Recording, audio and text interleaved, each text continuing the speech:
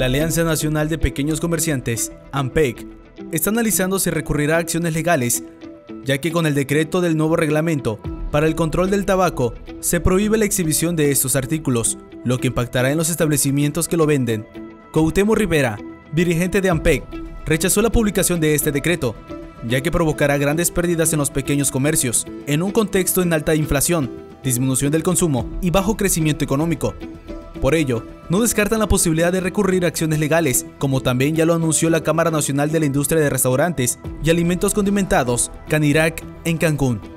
al insistir que es una medida ilegal, inconstitucional e irracional. Además consideró que esto podría ocasionar inseguridad, ya que tendrán que adecuar los establecimientos para que los cigarros no estén a la vista,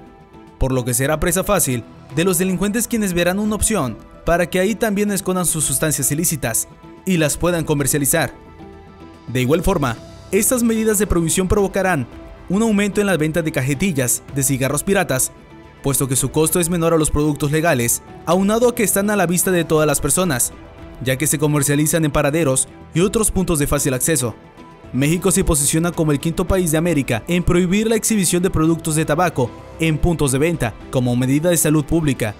Lo anterior se debe que el nuevo reglamento contempla la prohibición de toda forma de publicidad, promoción y patrocinio del tabaco, incluida la exhibición directa e indirecta de los productos del tabaco en puntos de venta. Con información de Omar Romero, realización de Andy y voz de Emanuel Climaco, Luces del Siglo.